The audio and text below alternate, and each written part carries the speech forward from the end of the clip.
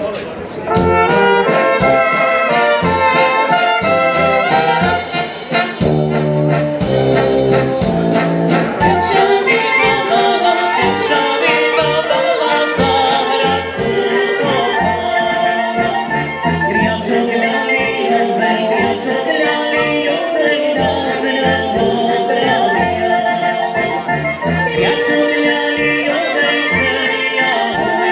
na całą wrobiała Boże mój.